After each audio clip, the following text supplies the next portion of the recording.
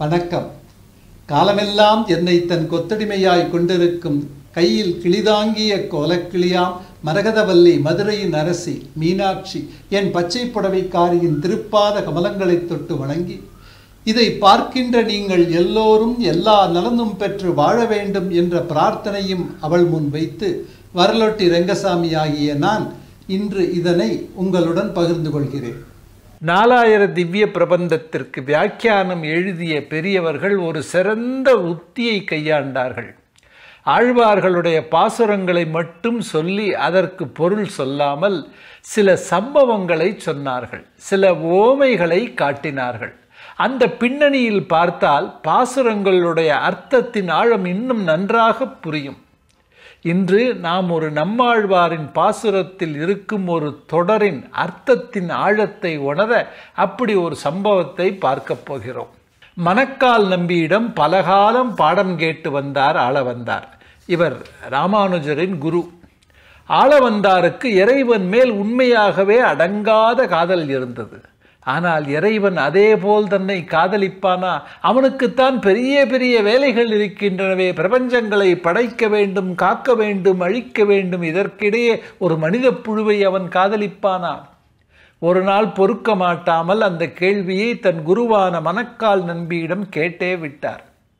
குரு சொன்னார் எனக்கு தெரிந்ததையெல்லாம் உனக்கு நான் சொல்லி தந்து விட்டேன். நீ சில யோக ரகசியங்களை கற்க வேண்டும். அதற்கு ஏற்ற மனிதர் குருகை காவலப்பன்தான் அவர் பெரிய மகான் நீ உடனே அவரிடம் போக வேண்டும். அடுத்த நாளே ஆள வந்தார் கங்கை கொண்ட சோழபுரத்திற்கு புறப்பட்டார். அந்த ஊரின் ஓரத்தில் இருந்த ஒரு குட்டிச்சுவரின் அருகே கண்ணை மூடிக்கொண்டு அமர்ந்திருந்தார் அந்த மகான். மூடிய கண்களிலிருந்து நிற்காமல் கண்ணீர் வந்து கொண்டிருந்தது. ஆள வந்தார் அவருக்கு பின்னால் போய் நின்று கொண்டார். அடுத்த சில நொடிகளில் அந்த மகான் கண்களை திறந்தார். இடிமுழக்கம் போன்ற குரலில் கேட்டார் சொட்டை குளத்திலிருந்து யாராவது இங்கே வந்திருக்கிறீர்களா? ஆளவந்தாரின் குலம் சிரேஷ்ட குலம் என்று பாராட்டப்பட்ட குலம். அதாவது மிகச்சிறந்த குலம் என்று பாராட்டப்பட்டது. அதை பேச்சு வழக்கில் சொட்டை குலம் என்று சொல்வார்கள். ஆளவந்தார் நாதமுனிகளின் பேரன் அல்லவா? ஆளவந்தாருக்கு ஒரே ஆச்சரியம். அந்த மகானுக்கு அது எப்படி தெரியும்? அவர்தான் கண்களை திறக்கவே இல்லையே. ஆளவந்தார் அந்த மகானுக்கு பின்புறம் நின்று கொண்டிருந்தார். அந்த யோகி கண்களை பாதி திறந்தபடி இருந்தார் என்று வைத்து கொண்டாலும் இல்லை ஏதோ சத்தம் கேட்டு அல்லது வேறுபட்ட வாசனையால் தான் இருப்பதை தெரிந்து கொண்டார் என்று வைத்து கொண்டாலும் தான் இன்ன குலத்தைச் சேர்ந்தவன் என்று எப்படி சரியாக அவரால் சொல்ல முடிந்தது? ஆள வந்தார். அந்த மகானின் முன்னால் சென்று அவரை விழுந்து பலமுறை விழுந்து வணங்கினார். தான் சொட்டை குலத்தை சேர்ந்தவன் என்றும் அதை எப்படி நீங்கள் கண்டுபிடித்தீர்கள் என்று பணிவுடன் கேட்டார். அந்த யோகி அன்புதோய்ந்த குரலில் பேசினார். குழந்தாய் நான் எப்பொழுதும் இறைவனுடன் இருக்கிறேன். இன்று என் தாயாரான திருமகள் இறைவனை தழுவிக்கொள்வதை பார்த்தேன். அந்த சமயத்திலும் இறைவன் அன்பு மீதூர என்னையே பார்த்தபடி இருந்தான். என்ன அன்பு என்ன அன்பு? இறைவா இறைவா என்று உருகி உருகி அரற்றிக் கொண்டிருந்தேன். திடீரென்று இறைவன் என் தோளை அமுக்கி என் பின்னால் நிற்கும் யாரையோ பார்த்து கொண்டிருந்தான். அந்த அளவிற்கு இறைவனுக்கு நெருக்கமானவர்கள் சிரேஷ்ட குலத்தைச் சேர்ந்தவர்கள் என்பதை அறிவேன். அதனால் தான் கேட்டேன். ஆளவந்தார் மீண்டும் அந்த மகானின் காலடியில் விழுந்து வணங்கினார். அவர் மனதில் இருந்த சந்தேகங்கள் எல்லாம் பறந்தோடி விட்டன. இறையன்பு என்பது நிச்சயமானது. இந்த உலகிலே இறையன்பு மட்டும்தான் சத்தியம் என்பதை புரிந்து கொண்டார். மீண்டும் ஆள வந்தார் திருவரங்கத்திற்கு. திரும்பிய பொழுது இறைவன் அன்பின் மறுவடிவம் என்பதை உணர்வு பூர்வமாக புரிந்து கொண்டார். அவர் இயற்றிய நூல்களிலெல்லாம் அந்த கருத்து அழகாக பரிமளித்தது.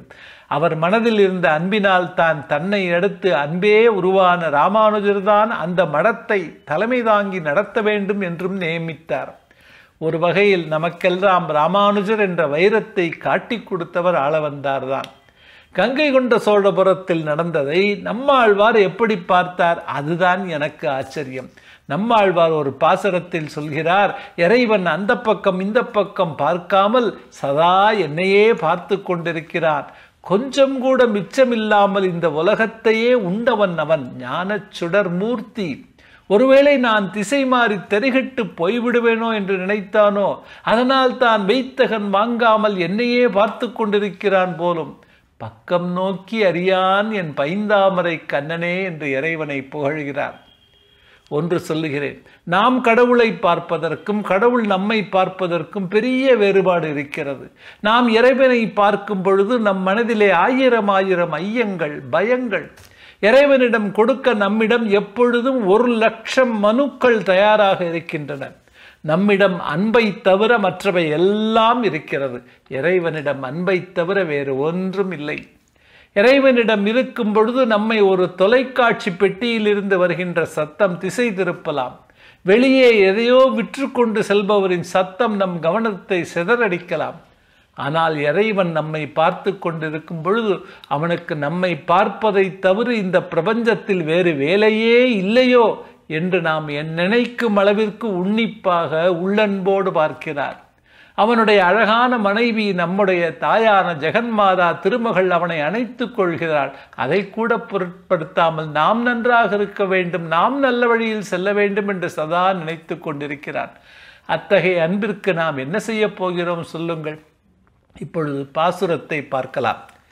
சிக்கனச் சிறிதோர் இடமும் புறப்படா தன்னுள்ளே. உலகுகள் ஒக்கவே விழுங்கி புகுந்தான் புகுந்ததற்பின் மிக்க ஞான வெள்ளச் சுடர் விளக்காய் தொலக்கற்றமுதமாய் எங்கும் பக்கம் நோக்கி அறியான் என் பைந்தாமரை கண்ணனே.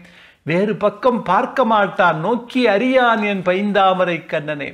அது அந்த காலத்தில் நடந்த நிகழ்வு. இந்த பாசுரத்திற்கு இந்த கால நிகழ்வை ஓமையாக சொன்னால் நான் முயன்று பார்க்கிறேன். ஒரு அழகான பூங்கா. அதிலே ஒரு தனிமையான இடத்திலே ஒரு காதலனும் ஒரு காதலியும் அமர்ந்திருக்கிறார்கள். அவர்கள் பேசிக்கொள்ள கொள்ளவில்லை. மௌன நிலை.